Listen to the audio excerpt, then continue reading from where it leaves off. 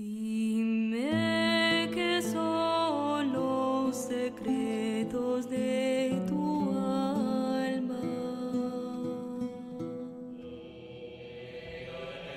Dime cuál es el camino de tu divino amor.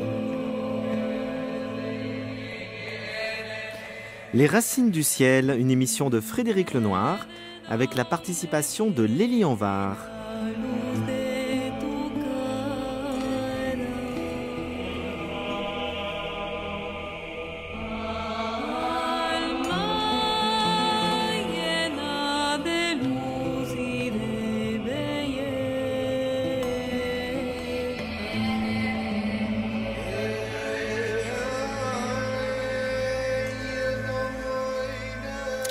Cette émission est réalisée par Marie-Christine Closet, préparée par Marie Dalquier, avec aujourd'hui à la prise de son Thomas Coudreuse.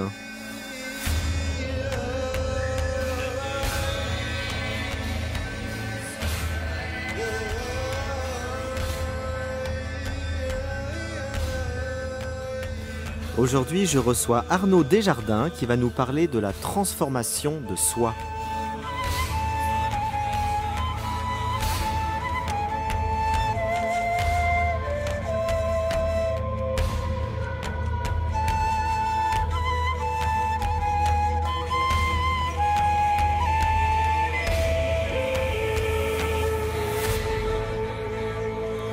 Arnaud Desjardins, bonsoir. Bonsoir.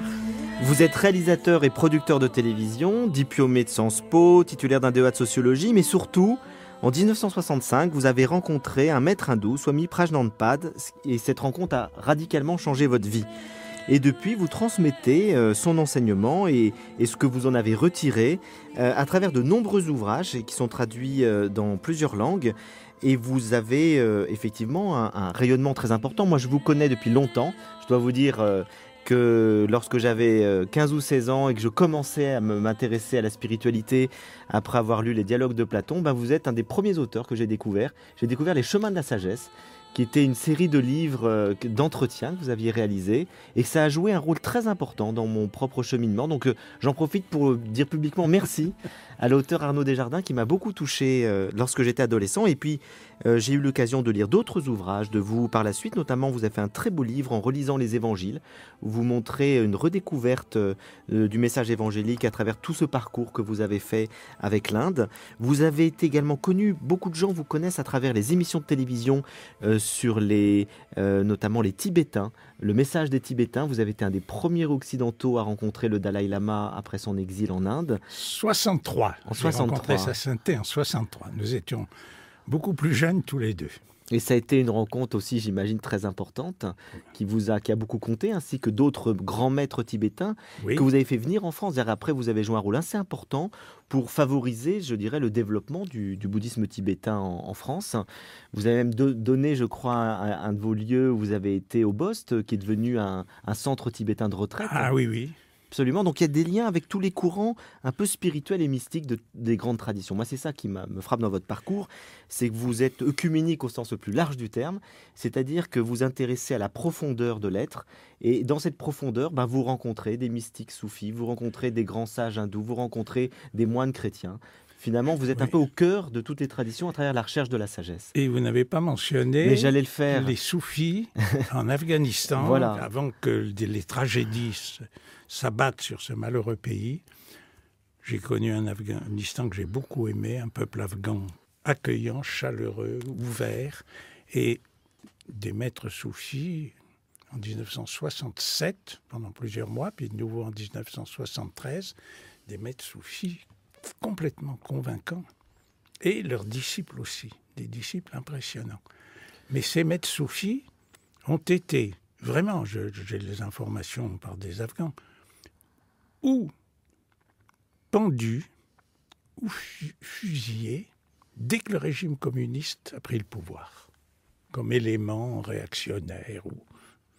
C'est Mais- tragique. De manière générale, les, les mystiques ont eu beaucoup à souffrir dans leur propre tradition. Il y a, on pense aux martyrs d'Aladj, Oui. parler de soufis. euh, je les mystiques dérangent un peu et les politiques et les institutions. euh, c'est assez courant finalement euh, Hélas, de c'est- mal finir quand on a une vie spirituelle euh, euh, qui, qui est un Mm. témoignage. Et c'est ça qui m'intéresse dans euh, tous les gens que vous avez rencontrés, c'est qu'il y a une très grande tolérance, une très grande ouverture. C'est que plus on va loin dans la profondeur, plus on est ouvert aux autres. Ah, ça, c'est vraiment ce qui m'a saisi. Bon, j'ai, au fil des années, j'ai beaucoup lu. Mais ce qui a le plus marqué mon, mon propre parcours, ma propre existence, ce sont des rencontres avec des êtres humains vivants. Et c'est dont je peux témoigner, c'est l'ouverture, la tolérance immense, non seulement des maîtres hindous, ça c'est assez connu, mais de, certains chrétiens, surtout dans le- l'esprit du, du concile, du dernier concile, mais également dans l'islam, très très ouvert. Je me souviens d'un maître soufi que j'aimais beaucoup, super musulman, et à qui j'ai dit, si je me convertissais à l'islam complètement, vous seriez heureux. Et il me répond, riant, vous êtes baptisé chrétien, vous avez un maître hindou et ça vous suffit pas. voilà, il m'a pas dit, oh oui, un jour Dieu vous éclairera et vous rejoindrez l'islam, Mohammed est le sceau des prophètes. Non, non. Et, et un autre maître m'a dit, vous acceptez l'idée de vous soumettre à la volonté de Dieu et non pas à la vôtre? Oui, oui, oui, tout à fait. Eh bien, musulman, musulman, ça veut dire soumis. Vous êtes musulman de cœur. Vous voyez, c'est une toute autre approche, tellement ouverte. Ce, ce qui veut dire qu'il y a une sorte d'universalité finalement de la quête spirituelle, quels que soient les courants ensuite et les traditions. Ce dont je peux vraiment témoigner, c'est que ce qui fait le maître spirituel authentique, ou le sage, c'est un état stable de paix. De paix, même dans les pires conditions, comme les grands Rinpoché tibétains réfugiés en Inde. De paix, de joie et d'amour euh, sans contraire, absolu. Même plus question d'aimer les ennemis, c'est l'amour. Je n'ai pas senti que j'étais aimé d'un amour chrétien par don Emmanuel Coutan, abbé de l'abbaye Trappiste de Bellefontaine en Vendée, que j'étais aimé d'un amour musulman par euh, Khalifa Saïb et Charikar, aimé d'un amour hindou par Swami aim- Non, la paix, c'est la paix profonde, réelle, qui émane euh, et dont, se sent même imprégné. Cet état heureux, la joie dans des conditions tragiques. Les, grands tibétains n'ont pas été tout de suite connus par les Occidentaux. Il n'y avait que le Dalai Lama qui était un peu connu. Il vivait dans la misère en Inde. Heureux, heureux, tout le temps, heureux. Donc la paix, la joie, l'amour ou la compassion, pour moi, c'est universel. Ah ça, c'est une paix chrétienne. Ne confondez pas avec une paix musulmane. Je, ne dis pas qu'il n'y a pas des différences théologiques importantes, mais qu'on peut considérer comme une source de richesse et pas de conflit. Alors, tous ces êtres que vous avez rencontrés, ils avaient fait un long cheminement intérieur. Et ça nous amène à aborder la question euh, centrale de votre dernier livre qui sort ces jours-ci chez Albin Michel, Arnaud Desjardins, dialogue avec le philosophe euh, Jean-Louis Chiani. Euh, donc, oui, chacun de nous peut se transformer. C'est le thème, euh, évidemment, clé de, de la vie spirituelle, euh, tel que vous l'avez euh, vécu vous-même, rencontré à travers tous ces grands témoins. C'est qu'on est appelé, vous nous dites, à évoluer, à progresser. Oui, et ce qui était intéressant dans cette rencontre avec Jean-Louis Siani, dont j'avais lu un livre de la philosophie comme remède au chômage. J'avais apprécié ce livre, je lui avais écrit, et ça a été l'origine de nos rencontres. C'est- que lui représente le point de vue européen ou occidental, et je vois bien combien j'étais imprégné du point de vue oriental. Et il y a du point de vue du philosophe, enfin en tout cas celui qui a une grande érudition en matière de philosophie occidentale, il y a une certaine réticence à l'idée d'une transformation fondamentale que- qu'on a appelée éveil, qu'on a appelée libération, qu'on a appelée illumination. Donc le thème du livre, c'est que je disais, nous, pouvons, nous sommes appelés non seulement à changer, on dit souvent oh, on ne change pas sa nature. Non, ce qui est spécifique de la nature de l'homme par rapport à un animal même intelligent comme un berger allemand, c'est la possibilité de changer. C'est ce qui fait l'homme, de se représenter autre que l'on est et de changer. Mais il y a un mot plus fort que changement, c'est transformation, métamorphose, avec l'image connue de mourir à un niveau pour vivre à un autre niveau.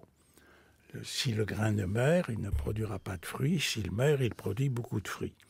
Et une image connue depuis toujours de métamorphose, c'est l'image de la transformation de la chenille en papillon. Alors moi, je plaidais la cause dans nos discussions amicales d'abord, et ensuite qui ont pris la forme d'un livre, de cette transformation qui est plus qu'un changement.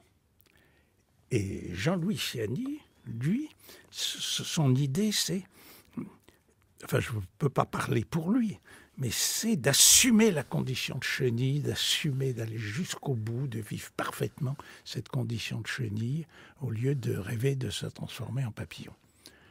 Je, je résume un peu. Donc c'est tout, tout- Mais voilà, donc- toute la tension qu'il y a dans son Voilà, livre. C'est ce qui euh, est as- assez intéressant. En même temps, il avait une générosité, une ouverture euh, pour essayer de me comprendre. euh, Ben- ben, vous allez nous dire pour nos, nos auditeurs, euh, euh, justement, qu'est-ce que vous répondez à ceux comme votre interlocuteur qui vous disent, là, il faut accepter profondément sa condition, sa nature, on n'a pas à se transformer. Qu'est-ce que vous répondez à ça?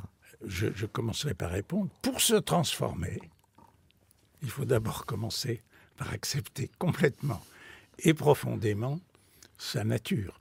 Et la connaissance de soi, la célèbre connaissance de soi qui peut conduire si loin, je cite souvent à des personnes que je rencontre cette parole fort connue de Saint Augustin, si je me connaissais, je te connaîtrais. C'est quand même euh, énorme. Bon, la connaissance de soi, elle commence au niveau psychologique. Comment est-ce que je réagis? Qu'est-ce qui me mène? Et, notamment, où est-ce que je suis libre et où est-ce que je suis complètement dépendant? Il y a un constat qu'on peut faire, que tout le monde peut faire et reconnaître, c'est que nous ne décidons pas de nos états intérieurs. Une bonne nouvelle a le pouvoir de produire une émotion heureuse, une mauvaise nouvelle a le pouvoir de produire une émotion douloureuse. Et ces sautes d'humeur, ces changements d'état d'âme, heureux, malheureux, inquiet, rassuré, si on regarde bien, ça se produit. Mais ça justifie une parole qui a beaucoup choqué de Gurdjieff disant l'homme est une machine qui réagit aux influences extérieures. Et le maître hindou qui, je peux dire, qui m'a vraiment guidé comme un père euh, spirituel, Swami Prajanpad, disait l'homme est une marionnette dont l'existence tire les fils. Mais tire les fils à travers ses réactions que nous ne décidons jamais. Sinon, nous déciderions, ben, à partir de maintenant, je m'installe dans la paix, je m'installe dans la sérénité, je m'installe dans l'ouverture du cœur, euh, ce que les Tibétains appellent la bonté fondamentale, et je n'en bouge plus. Si je décidais librement, je déciderais à partir de maintenant, je suis heureux. Ça veut dire qu'on n'est pas libre, finalement. Non, c'est l'existence qui décide, qui ordonne.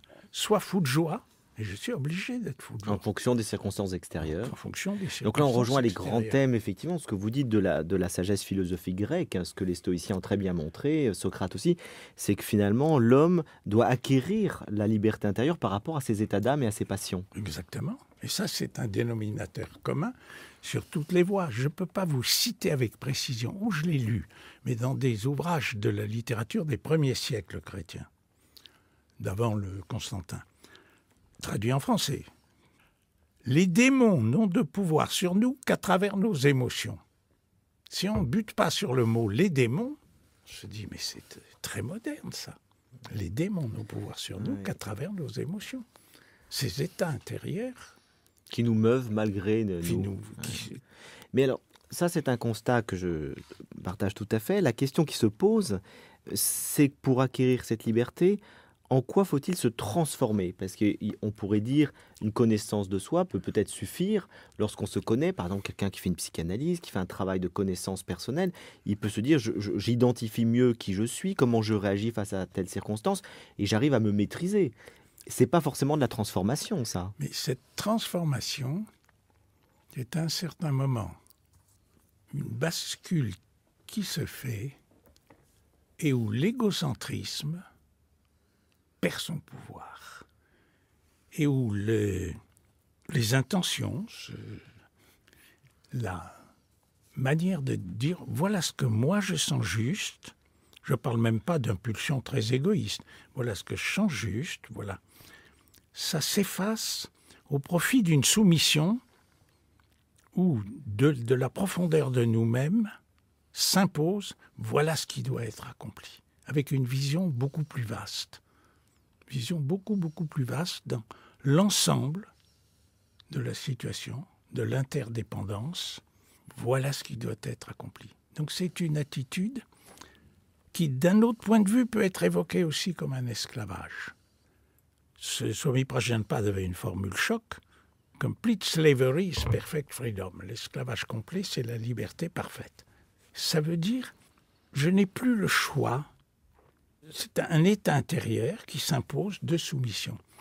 Je me souviens de, quelques souvenirs que j'ai de l'existentialisme qui régnait sur, sur, ma jeunesse, que Sartre a dit l'homme est condamné à la liberté. Et la libération, c'est de ne plus être condamné à la liberté.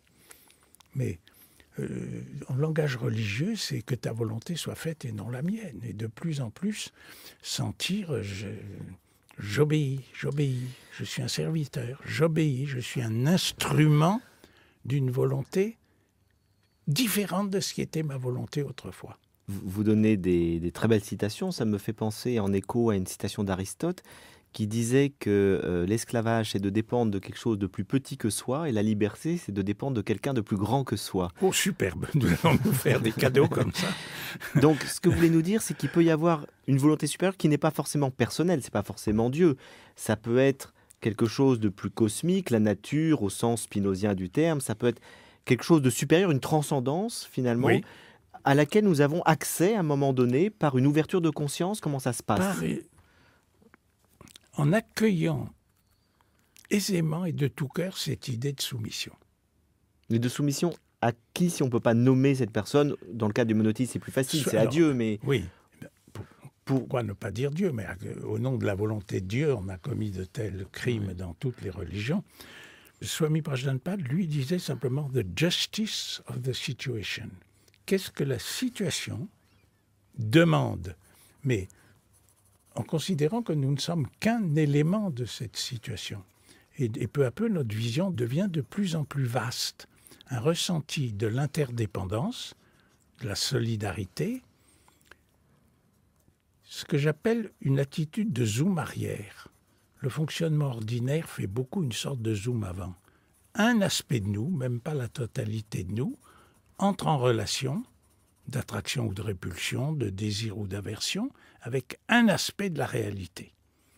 Et le zoom arrière, ce serait une vision beaucoup, beaucoup plus vaste. Et par cette vision de plus en plus vaste, il y a de plus en plus de soumission à la totalité de la demande de la situation.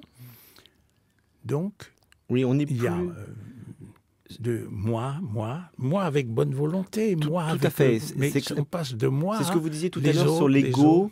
Qu'il faut dépasser dans sa prise immédiate finalement, avec son intérêt immédiat, avec son ressenti immédiat. C'est un élargissement du regard. De... Et l'élargissement, l'ego se dissipe en devenant de plus en plus vaste. Un ego vaste, c'est le contraire d'un ego hypertrophié. Moi, moi, et tout par rapport à moi. Et...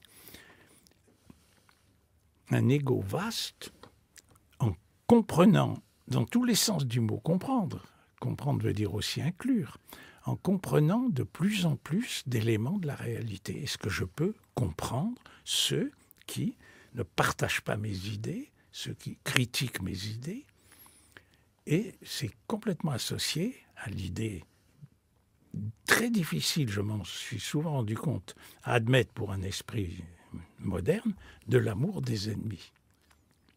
Quoi? Vous avez de l'amour pour les pédophiles, ces monstres je, vous signale que c'est ce que propose euh, Jésus dans l'Évangile, l'amour euh, tout court, et c'est aussi ce que demande le Bouddha. Et c'est ce que nous pouvons arriver à, à développer en nous, cette non pas approbation, mais compréhension. Mais je dis bien dans les deux sens, comme en anglais to understand ou to comprehend. J'essaie de comprendre comme un psychologue ou un psychiatre chercherait à comprendre quel est le mécanisme qui fait la pédophilie. J'emploie cet exemple parce qu'il y a eu Actuel. une grande indignation dans les médias. Et est-ce que je peux comprendre avec l'intelligence du cœur et pas seulement euh, la réflexion intellectuelle L'intelligence du cœur, entrer en communion avec quelqu'un dont c'est la nature, dont c'est peut-être l'asservissement, Et- c'est-à-dire remplacer le jugement par la compréhension. Et on pourrait dire la même chose par rapport à soi-même. Pour commencer.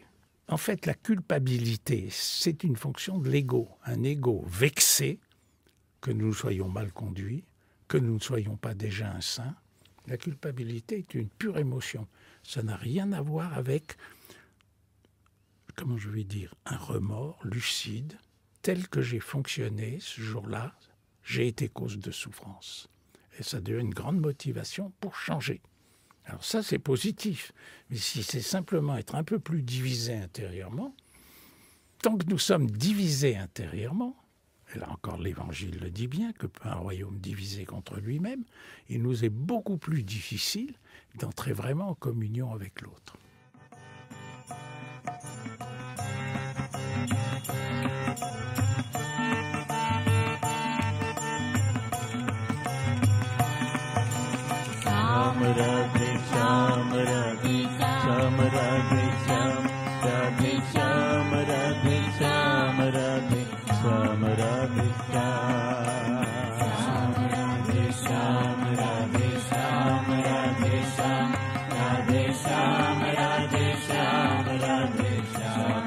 Krishna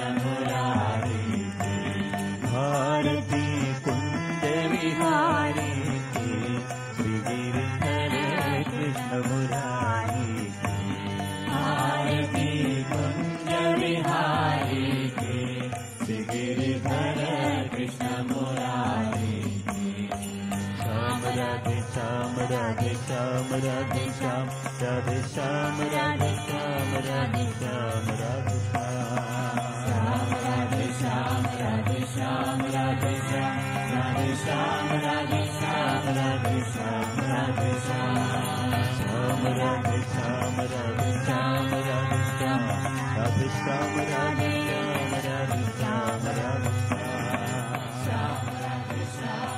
Vous êtes sur France Culture dans l'émission de Frédéric Lenoir Les Racines du Ciel en compagnie ce soir d'Arnaud Desjardins qui nous parle de la transformation de soi à propos notamment de la sortie euh, de son très beau livre de dialogue avec Jean-Louis Siani. Oui, chacun de nous peut se transformer chez Albin Michel. Juste avant de continuer cette conversation, Arnaud, vous avez choisi cette euh, musique indienne. De qui s'agit-il? Je me suis fait plaisir pour me rappeler les années que j'ai passées en Inde et qui, des souvenirs heureux et précieux.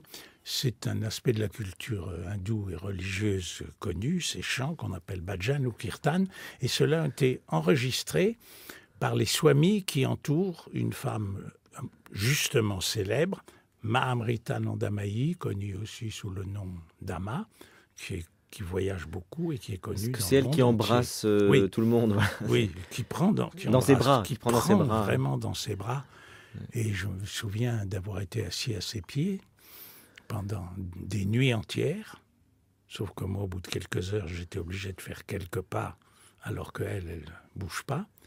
Chaque personne, comment elle, une seconde de regard, et comment elle prend les gens dans ses bras. Et au bout de 6 heures, 7 heures, 11 heures, c'est, ça, n'en finit plus. Même disponibilité comme, comme une mère qui embrasserait son enfant, son bébé bien-aimé. Je prends position nette et claire, je suis un admirateur convaincu par euh, Ama, Ama. qui vient en France tous les ans, je crois, à Paris et Toulon. Oui, Ah ben, on essaiera de la recevoir, mais je crois que c'est très difficile de faire un entretien avec elle. C'est pas son, Non. sa mission. non, elle est plutôt c'est là pour transmettre mission, euh, de a l'amour. elle a parlé euh, dans des grands colloques, elle a parlé à l'UNESCO, elle a parlé cette femme sans Oui, instruction. puis elle a des fondations caritatives très importantes en Inde. énorme, oui, oui. Alors, on parle justement de maître, euh, en l'occurrence une femme, mais il y a effectivement un certain nombre de, de maîtres spirituels que vous avez rencontrés. Quel est le rôle euh, du maître spirituel ou du gourou, comme on dit en Inde? Il faudrait d'ailleurs nous donner une explication de ce mot, qui est très mal vu en Occident, euh, dans la transformation de soi. Si on n'est pas un génie, un Mozart de la spiritualité, on a besoin de quelqu'un qui nous enseigne, qui nous guide, que vous appeliez ça un instructeur, un éducateur, un moniteur. Voilà, je, je- me tourne vers un- quelqu'un qui est un expert en violon parce que je voudrais apprendre à jouer du violon. Ça, c'est la réponse la plus simple qu'on puisse donner. Et en fait, c'est assez étonnant de voir combien ce mot gourou, qui est un mot éminemment euh, respecté pour les hindous et les bouddhistes du Mahayana, est devenu comme une sorte d'injure en français. Charlatan, escroc, traiter quelqu'un de gourou, c'est très méprisant. Je fais une petite parenthèse juste pour euh, éclairer les choses sur le mot gourou. Je crois que tout simplement, on a utilisé un mot qu'on connaissait mal pour l'appliquer à des personnages euh, qui, au lieu d'aider des disciples pour euh, le- les rendre plus libres, finalement, essayent de les asservir à un pouvoir personnel. Donc c'est pour ça qu'on a détourné un mot qui était beau pour qualifier ah, des je- personnages qui sont tout à fait contestables, Et parce a- que ça se discerne un maître spirituel. Il y, a, il y a des vrais maîtres spirituels et il y a des faux maîtres spirituels. Euh, oui, alors, mais tout faux maître spirituel expliquera qu'il est un vrai maître Voilà, spirituel, discerner mais qu'il faut se méfier des faux. Mais est-ce que le discernement, c'est pas justement que le vrai vous, vous rend plus autonome, le faux vous rend plus dépendant? Est-ce que ça pourrait pas être un critère de discernement? avant tout ça, avant tout. Il y a une femme qui, est beaucoup venue quand nous étions dans le Gard à Fondizière. Et j'ai senti, je lui ai dit, vous devriez faire des retraites dans un monastère de cisterciennes dont je connaissais la maîtresse des novices, ou la prière, une certaine sœur Marie Samuel, avec qui je suis toujours en relation. Je, je le sens, en fait. Ah bon? Aujourd'hui, elle est moniale cistercienne. Elle a fait ses vœux définitifs après avoir fait son. Bon. Donc, euh, le, but, c'est d'aider chacun à trouver sa, propre voie. Alors, il y a plusieurs personnes qui, se sont engagées auprès d'Arnaud Desjardins et qui, euh, plein d'amour et de gratitude pour Arnaud Desjardins, suivent aujourd'hui une autre voie que j'ai pu les aider à découvrir. Et ça, c'est le. C'est inspiré d'une parole d'un des grands swamis hindous du début du siècle, un Anglais, de ces rares Anglais qui ont pris un peu les hindous au sérieux, d'en faire des adorateurs d'un dieu à tête d'éléphant, et qui lui a dit, mais pour devenir votre disciple, est-ce faut que je me convertisse à l'hindouisme? Et ce swami a répondu, non, non, non, je vous convertirai à votre propre religion. Eh bien, on peut dire d'une manière plus précise, le rôle d'un maître spirituel, c'est de convertir chacun à sa vraie nature, à son vrai destin spirituel. Alors à la fois, il faut être euh, pleinement soi-même, parce que vous venez de le dire, d'être converti à sa vraie nature. Donc Oui, il faut aller jusqu'au bout de sa condition, de la culture dans laquelle on est né. Si vous êtes né chrétien, restez chrétien. Si vous êtes né euh, hindou, restez hindou. C'est un peu ça, le, le fond du message. Et en même temps, il faut se transformer, il faut changer aussi. Alors, comment euh, jouer de ce paradoxe où Non. Être Plus- fidèle à soi-même et se, et, et- et se transformer plus on se transforme, plus d'abord on approfondit vraiment l'enseignement dont on se réclame. Qu'est-ce que c'est être un chrétien? Qu'est-ce que c'est prier pour ceux qui nous persécutent, bénir ceux qui nous maudissent? Ce sont des paroles euh, de se demander que je, je- je suis en mesure de mettre ça en pratique. C'est où ça me paraît très beau mais impossible. Plus on approfondit la compréhension de sa propre voix, plus on est en mesure de voir non pas ce qui nous sépare, mais ce qui nous unit aux autres. Il y a une très belle phrase dans le Coran, je cite de, de mémoire, Dieu vous a fait différents pour que vous appreniez à vous connaître. Ça, c'est l'attitude de, je ne dis pas la grande masse des musulmans, mais de tous les maîtres et disciples euh, sou- soufis. On peut le voir comme une cacophonie. Ils se réclament tous de la vérité, ils se contredisent tous. On peut le reconnaître comme une source de guerre, de conflit, de haine, mais même à l'intérieur des religions. Entre sunnites et chiites, il y a des conflits pitoyables. Entre catholiques orthodoxes au moment des croisades. bon. Mais on peut le voir comme une richesse.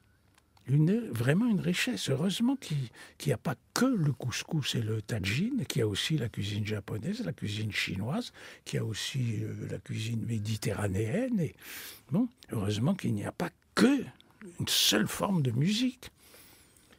Et personnellement, voilà comment les choses se sont imposées. Pour moi, je suis né de race blanche. Je ne suis pas sénégalais ni jaune.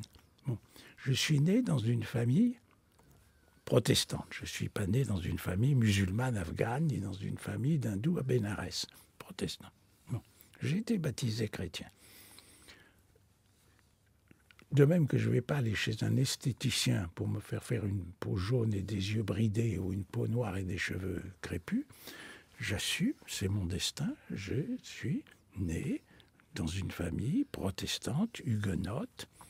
J'ai très, très attiré par le catholicisme, la mystique euh, catholique. euh, Thérèse d'Avila, encore plus que Saint Jean de la Croix, bon, les, les pères de l'Église, Grégoire de Nice, Clément d'Alexandrie, ça a été une nourriture pour moi. Mais je sentais, il n'y a pas de nécessité de, de conversion. Il y a cette ouverture, cette rencontre, en considérant les différences comme une richesse. Oui, mais en même temps, c'est toute cette rencontre avec ces maîtres hindous, et notamment Swami Prajnanpad, Oui. qui vous a permis d'aller ju- jusqu'au bout de la profondeur de votre propre tradition. Est-ce que vous auriez pu la découvrir sans ce détour par l'Inde? Non. Non, j'ai cherché beaucoup. Mais j'aurais pu trouver quelque chose si ça avait été dans ma nature de devenir moine. J'ai été très très impressionné, convaincu, et je ne pas, je reviens pas en arrière de beaucoup de séjours que j'ai faits euh, en 1958 et dans les années qui ont suivi, dans cette abbaye de Bellefontaine. Les entretiens avec Don Emmanuel, qui a beaucoup compté dans mon existence à cause de lui que mon propre fils s'appelle Emmanuel. Emmanuel, voilà. Le prieur, le maître des novices de l'époque. Mais c'est une vocation de moine. Qu'est-ce que un moine peut pour un laïc qui à la fois a une intense nostalgie de spiritualité au plus haut niveau et en même temps reconnaît en lui d'être fasciné par les femmes un peu séduisantes, d'avoir soif de réussite professionnelle.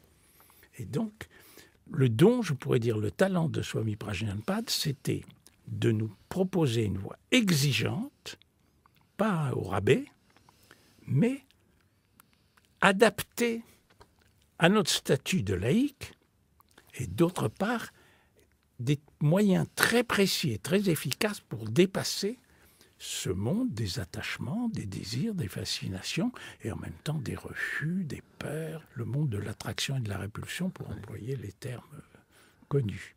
Et oui, donc c'est tout un chemin euh, intérieur de travail sur soi, de transformation de soi, donc que vous avez fait et que vous continuez de faire avec d'autres, puisque vous transmettez aujourd'hui cet enseignement. Euh, c'est un chemin difficile, j'imagine que ça ne se fait pas d'un coup de baguette magique. C'est un travail d'attention, de vigilance, d'effort sur soi. Euh, c'est pas quelque chose, ça me paraît important d'insister sur le caractère, je dirais, exigeant du, du chemin spirituel, parce que beaucoup de gens peuvent penser que ça se fait comme ça, il suffit d'appliquer trois recettes et ça marche. C'est pas tout à fait Non, comme ça. non, euh, on s'aperçoit que ça marche. Quelque chose de nouveau, d'inhabituel, nous permet de vivre quelque chose que nous n'avions pas connu jusque-là. Certaines personnes qui font un- une semaine d'introduction à la méditation vipassana, ils ont- n'ont jamais euh, cherché à s'intérioriser un moment, à entrer en contact avec leur profondeur. C'est une révélation. Ça y est, ah, j'ai trouvé. Il y a un avant et un après. Seulement euh, trois mois ou six mois après, les personnes peuvent être brisées par une souffrance, submergées par euh, des angoisses. Et cette transformation, bon, ben, il faut le reconnaître, ça a toujours été dit, toujours, toujours. C'est une entreprise, euh, c'est une grande aventure. Alors, justement, est-ce que c'est une aventure réservée à une élite? C'est-à-dire est-ce que le travail ultime qui permet d'atteindre ce qu'on appelle l'éveil dans le bouddhisme, la sainteté dans le judaïsme ou le christianisme, enfin, est-ce que ce travail de transformation profonde de soi, est-ce que c'est réservé à une petite élite ou est-ce que tout le monde euh, peut y est appelé en cette vie écoutez, selon vous- ses moyens? Nous connaissons la parole célèbre. Il y a beaucoup d'appelés et peu d'élus et des paroles qui sont dures. La voie étroite, euh, il y en a peu qui s'y engagent. Et la voie large de la facilité, il y en a beaucoup plus. Même l'enseignement de l'Évangile qui est fondé sur l'amour, le pardon, la compréhension, c'est prodigieux. Reconnaît que c'est- pas qu'il suffit pas de vouloir euh, l'éveil pour être éveillé, de vouloir la sagesse. Il y a un prix à payer. Il y a un prix à payer. Bon, dans le, le christianisme, le, la- le- le procès de Jésus, la condamnation, le mépris, l'abandon de ceux qui l'entouraient, la crucifixion, c'est une immense image d'un prix à payer. Oui, c'est une Alors, mort à euh, soi-même pour renaître, comme vous disiez. Voilà. Non, c'est pas, pas bon marché. Mais alors pour ceux qui n'ont pas fait ce choix de consacrer leur vie hein, à, la, à la quête spirituelle, euh, j'imagine qu'il est quand même possible de faire un travail important dans une vie laïque aujourd'hui. euh, comment on ça peut, peut, se même, faire? comme je le disais tout à l'heure, suivre un chemin très exigeant où on se sent à part entière dans cette démarche. Dans le monde, le monde des formes, comme on dit en Inde, et pas le monde du renoncement, comme d'être swami euh, dans un ashram sérieux avec tout ce que l'exigence représente, ou, ou moine ou, ou monial ou nonne dans un monastère catholique ou un monastère zen. Mais il y a un prix Mais- très élevé à payer. Mais ça implique euh, de faire certaines techniques, de, ou de prier, ou de méditer. C'est-à-dire c'est un travail quotidien, c'est une exigence quotidienne. Peu à peu, ça devient plus que quotidien, ça, peu à peu, de, de minute en minute. Veillez et priez sans cesse. C'est l'évangile. Qu'est-ce que je- J'oublie, j'oublie. Être en état de vigilance. Alors, comment faire pour que ce monde, si nous ne sommes pas moines, moines zen ou moines trappistes, que ce monde, à fois fascinant et horrifiant, au lieu de nous faire tout le temps oublier l'essentiel, tout le temps oublier Dieu, tout le temps oublier euh, l'indestructible, nous fasse tout le temps souvenir. Et là, il y a une possibilité. Oh, que c'est beau Et Dieu Oh non Et Dieu Que ça se grave en nous, que chaque réaction que le courant de l'existence a pouvoir de produire en nous. Attraction ou répulsion, désir ou aversion, inquiet ou rassuré, etc. Nous fasse nous souvenir de l'essentiel, nous fasse nous souvenir que nous sommes engagés sur le chemin. Ce mot souvenir, il est capital, autant que le mot vigilance ou le mot veille.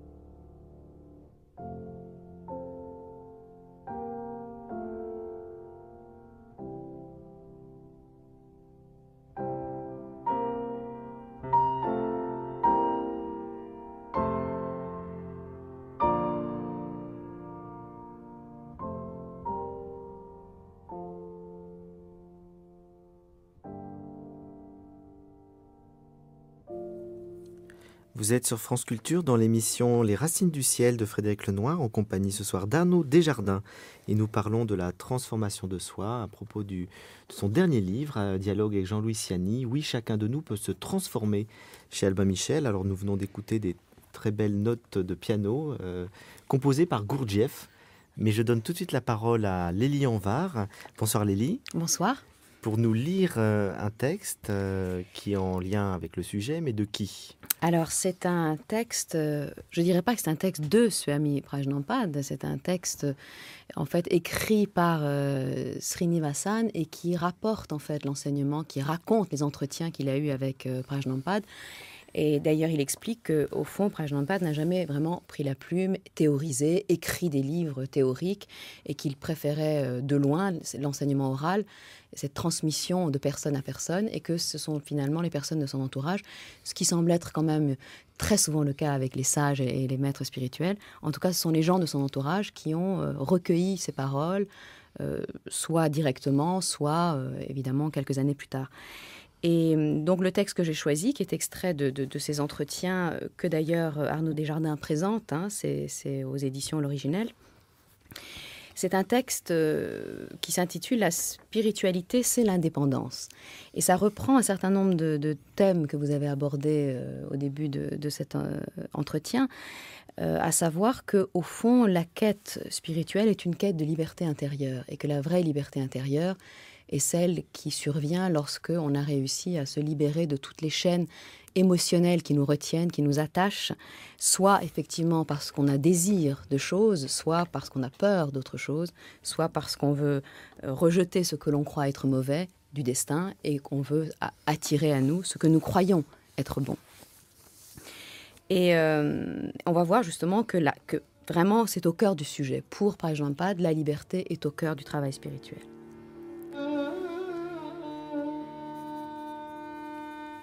La spiritualité, c'est un autre nom pour l'indépendance. Dépendre de quelqu'un ou de quelque chose, c'est s'éloigner du bonheur. Quand vous êtes en état de dépendance, vos, mouvements sont limités. Vous restez confiné dans un espace étroit. Si vous êtes esclave de vos désirs, vous ne pouvez pas être heureux et libre. Votre bonheur dépend de la satisfaction de vos désirs, ce qui est souvent impossible et vous fait souffrir. Mais si vous êtes maître de vos désirs, vous pouvez les satisfaire quand c'est possible, les réfréner s'il n'y a pas de possibilité de les satisfaire, et ainsi, vous serez heureux. La spiritualité est une attitude d'esprit, ne dépendre que de soi. C'est cela la spiritualité. Essayez de voir et de sentir ce qui est, et non d'attendre que les choses soient comme vous aimeriez qu'elles soient. Cette attente est la tragédie de la vie humaine. Et suit une histoire que raconte Prajnampad, que je résume ici parce qu'elle est assez longue. C'est l'histoire de cet homme euh, qui un jour perd son cheval et les gens du village viennent lui dire Oh, quel malheur, tu as perdu ton cheval. Il dit Mais c'est pas très grave. Puis au bout de quelque temps, le cheval revient avec une jument. Les gens du village viennent le voir et lui disent Ah, quel bonheur, euh, tu as, tu as trouvé deux chevaux. Maintenant, tu en as deux. Il dit Mais ça, il faut pas être excessivement heureux de cela. Il, il adviendra ce qui doit advenir. Puis bon, il a d'autres aventures, entre autres son fils tombe de cheval, il se casse une jambe et tout le monde lui dit ah quel malheur, ton fils s'est cassé la jambe, maintenant il est handicapé. Et quelques temps plus tard, euh, en fait il y, a une, guerre, donc tous les jeunes gens partent à la guerre, sauf son fils puisque évidemment il est devenu handicapé. Et les gens viennent lui dire ah quel bonheur, ton fils s'était cassé la jambe, etc. Et lui reste d'humeur égale tout, tout au long, en disant justement qu'importe ce qui arrive, ce qu'il faut c'est rester égal à soi-même. Et ce qui est intéressant, c'est ce qu'on disait, c'est-à-dire être égal à soi-même, ça veut dire vraiment en accord avec sa nature profonde, et en même temps, ça implique un travail sur soi et sur euh, ses émotions. Donc, euh, ce qui est intéressant aussi dans ces entretiens, dans ces entretiens, c'est que très souvent, l'enseignement est suivi d'une petite histoire qui illustre et qui montre que, euh, évidemment, il faut être pratique, il faut, il faut entrer dans le monde avec une pratique spirituelle, sinon, ça n'a pas vraiment de sens. Je ne sais pas si vous êtes d'accord avec euh, cette, cette, cette vision Oh, des choses. Si, si, je, suis- je suis d'accord. Et Srinivasan, c'est extrêmement fidèle à Swamiji. À mon avis, il prenait très consciencieusement des notes, puis ce sont, en sortant de son entretien, et ce sont ces notes dont nous nous bénéficions. Oui, on voit que ça ne fait pas système, c'est-à-dire c'est vraiment adapté aux gens qui lui posaient des questions, ça dépend de, Ah de oui. la circonstance. Alors, je, vous ai demandé, Arnaud Desjardins, de nous apporter un texte qui vous plaise particulièrement. Et il se trouve que vous nous avez apporté un texte qui semble faire écho euh, à, ce que je viens de lire et hum, qui est extrait de La sagesse et la destinée de Maurice Maeterlinck, ce qui est assez inattendu parce que moi je connaissais Maeterlinck comme dramaturge. Oui, a écrit L'oiseau bleu notamment, qui Absolument. a été un triomphe en 1910. Oui, et effectivement, c'est un auteur de Nous drame. l'avons oublié. Oui, non, non, mais on l'a pas tant oublié. Parfois, ça revient. Mais c'est vrai qu'on on le connaît comme auteur de drame. Mais c'est vrai qu'on sent dans ces drames, au fond, tout un questionnement philosophique qu'il a mené tout au long de sa vie. Et dans ce texte que vous nous avez apporté, qui est effectivement un essai philosophique, on voit que, euh, évidemment, les drames sont le- ces drames, donc ces, ces pièces de théâtre, sont le reflet de son propre cheminement intérieur. J'ai apporté ce texte parce que, à l'âge de 23 ans, je n'avais jamais entendu le mot yoga ou yogi. Je, bon, j'ai reçu une instruction religieuse.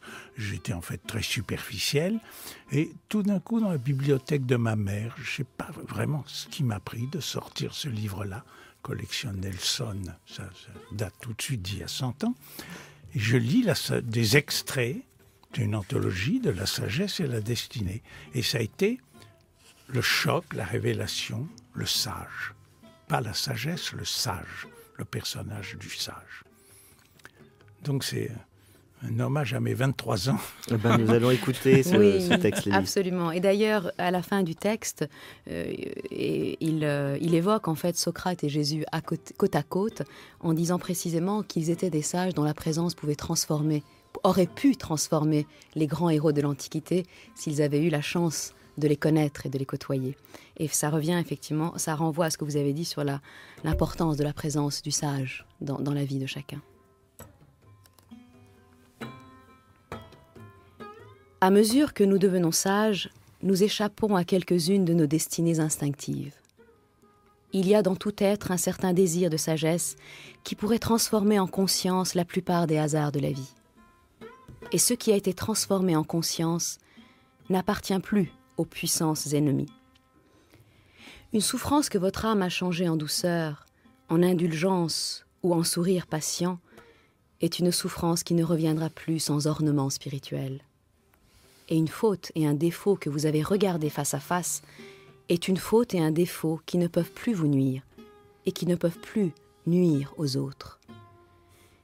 Il existe des rapports incessants entre l'instinct et le destin. Ils se soutiennent l'un l'autre et ils rôdent la main dans la main autour de l'homme inattentif. Mais tout être qui sait diminuer en lui la force aveugle de l'instinct diminue tout autour de soi la force du destin. Il semble qu'il crée une sorte de lieu d'asile, inviolable en proportion de sa sagesse, et ceux qui passent par hasard dans la zone éclairée de sa conscience acquise n'ont rien à craindre du hasard tant qu'ils s'attardent en cette zone. Placez Socrate et Jésus-Christ au milieu des Atrides, et l'Orestie n'aura plus lieu aussi longtemps qu'ils se trouveront dans le palais d'Agamemnon. Et s'ils se fussent assis sur le seuil des demeures de Jocaste, Oedipe n'eût pas songé à se crever les yeux. Il y a des malheurs que la fatalité n'ose entreprendre en présence d'une âme qu'il a vaincue plus d'une fois, et le sage qui passe interrompt mille drames.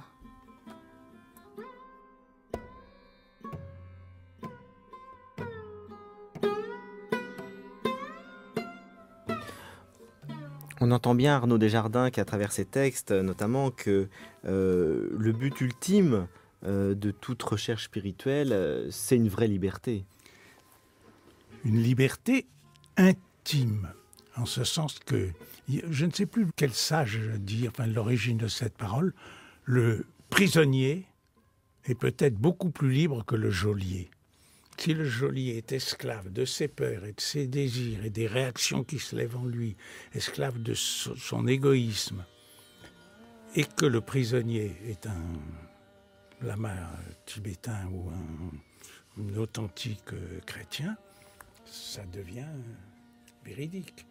Il s'agit d'une liberté intime, la liberté qui nous permet d'être fidèles à ce que propose la religion dont nous nous réclamons Est-ce que je peux être établi dans l'amour? Nous avons dans le lieu que j'anime euh, construit ça a été une petite mosquée complètement musulmane, une petite chapelle une salle d'études juives. C'est pas du syncrétisme, c'est que chacun trouve ce qui correspond à sa euh, euh, son rattachement. Et dans la chapelle chrétienne, quelque chose qui est familier au proté- temple protestant, d'écrire des versets sur le mur. Et nous avons écrit euh, celui qui demeure en Dieu, non, celui qui demeure dans l'amour, demeure en Dieu et Dieu demeure en lui. Évangile de Saint Jean, chapitre C'est une, 14. une épi- ah oui, c'est dans une épître aussi. C'est oui. aussi la première lettre de Saint Jean. oui. Voilà, la première lettre, c'est bon. Est-ce que j'ai la liberté de demeurer établi dans l'amour? Quand quelqu'un m'énerve, je ne l'aime plus. Si quelqu'un m'intente un procès que je considère comme injuste, je ne peux plus l'aimer. Tout, et, et d'une manière générale, tout ce qui me contrarie m'arrache, m'exile de l'état d'amour, de demeurer dans l'amour. On peut le prendre, le- le- l'exprimer comme ça. Est-ce que j'ai la liberté de demeurer dans l'amour? Non, aujourd'hui non. Je veux gagner cette liberté et que plus rien ne puisse m'arracher à un état d'amour. Et on dit, et ça me bouleversait quand j'en étais si loin, le sage aime comme le feu chauffe et éclaire. Toute personne qui s'approche du feu est chauffée et éclairée.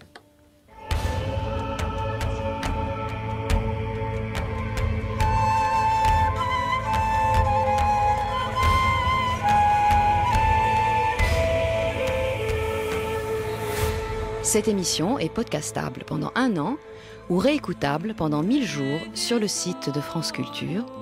Et la semaine prochaine, vous pourrez écouter la rediffusion d'une émission sur Eti Hilsum avec Cécilia Duterre. Très bon dimanche à tous.